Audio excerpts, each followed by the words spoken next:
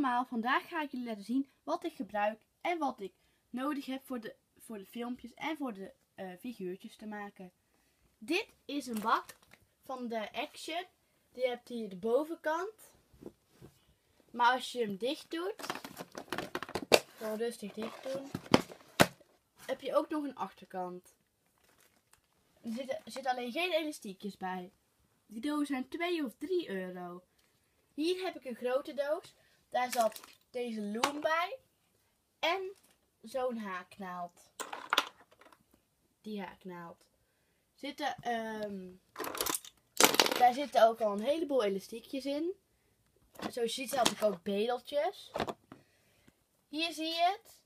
Ehm, er zitten 400, 4400 eh, elastiekjes in. En 5, 50 S-clips. En 5, 5 uh, bedeltjes. Deze dozen zijn 20 euro. Met de haaknaald en de loom erbij. Die zitten er dan al in. Dan heb ik nog zo'n doos. En daar zie je allemaal figuurtjes. En ook haaknaalden. Die paarse haaknaalden, die krijg je gewoon als je zo'n zakje koopt.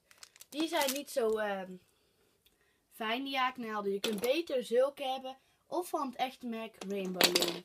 Dan heb ik nog een doos. En daar zit ook weer een achterkant in.